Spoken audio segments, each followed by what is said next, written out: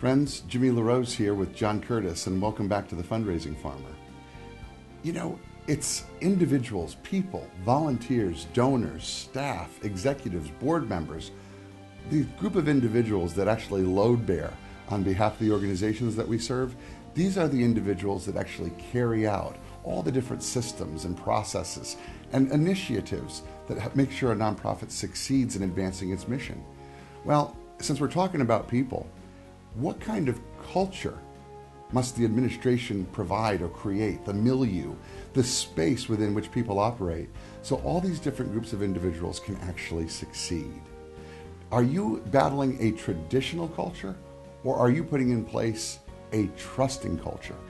I have with me today here John Curtis.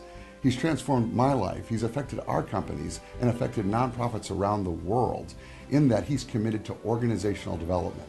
And so much of OD is actually putting in place all that infrastructure that allows for the right culture. John, what's the difference between a trusting culture and a traditional culture? Why don't we start with traditional culture? Well, it's great the way you set that up, Jimmy, because you talked about battling the culture, and that's exactly what happens in a traditional culture. There's a command and control structure, there's power, there's uh, coercion, there's fear, there's manipulation. Uh, and everybody wants to hold back because they're fearful, they're vulnerable, they don't want to say what they really think or feel because they know they're going to get attacked. Uh, it feels dangerous oftentimes in that kind of culture. And uh, kind of the bottom line is what you get out of that sort of culture, Jimmy, is people who do just enough not to get fired. Wow. Well, in order for us to advance our mission, if we've created a culture where people are just trying to stay underneath the radar screen enough not to get in trouble, and somehow that means they're involved in a, a, modicum of doing some things right and some things wrong. It doesn't sound like to me that that's the culture that's going to now uh, allow people to actually realize their personal goals and dreams or the nonprofits. Exactly.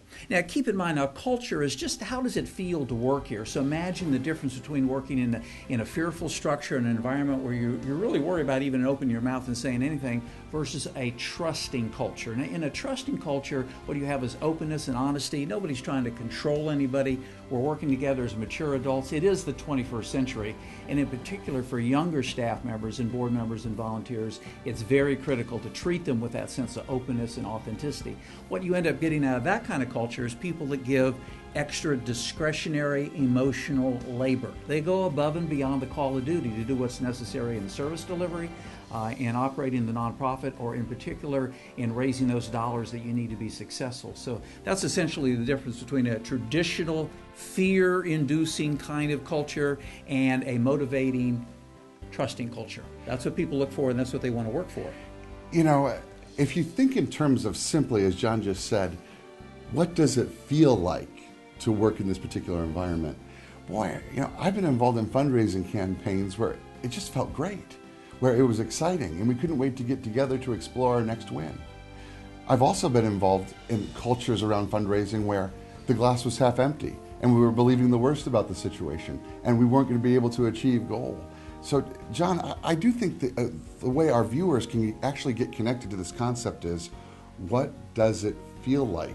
Exactly and, and just one of those things that just like going to a foreign land where the different culture is quite obvious the music the dress the language obviously all the customs well in a culture it's one of those things of how do we operate around here? And culture is very powerful it's invisible which makes it unique in an organization. But if you ask any employee who's worked there for a while a volunteer or board member how does it feel to work here? They'll tell you they'll begin to describe what will be either a traditional in most cases or a trusting culture just by the words they use to tell you about what it's like to work there, how it feels to be there. That's the most important key for anybody in a leadership role is to advance the culture from a traditional to a trusting one. That's the most critical step you can do in leading an organization.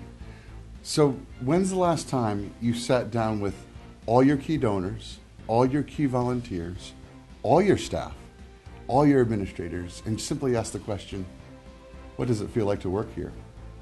I can't wait to find out what you find out when you do it. I'm Jimmy LaRose. Thanks for spending time with us here on the Fundraising Farmer.